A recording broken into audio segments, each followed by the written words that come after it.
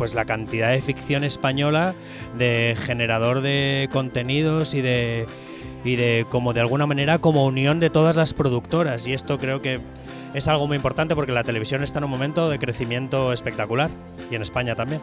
Series internacionales, la verdad. Ahora mismo a Mr. Robot, que la acabo de empezar. La bola de cristal, ficción y en los concursos de sabiduría. En televisión, en Rodando la Sonata del Silencio, recuerdo un momento con Eduardo Noriega que nos entró la risa y que fue terrorífico poder intentar controlar la risa. Eduardo Noriega le entró y la verdad que no pudimos parar de reírnos un buen rato, tanto que el director al final se enfadó con nosotros. Sé que estas cosas no quedan muy profesionales, pero pasan todos los trabajos, comprendedlo. Miguel Reyán. Me van a matar unos cuantos. José Sacristán también. Y Miguel Reyán, son mis favoritos. Con las manos en la masa, como en esta, empieza. Siempre que vuelves a casa, me pillas en la cocina. La- es mi sintonía favorita, no mi programa favorito.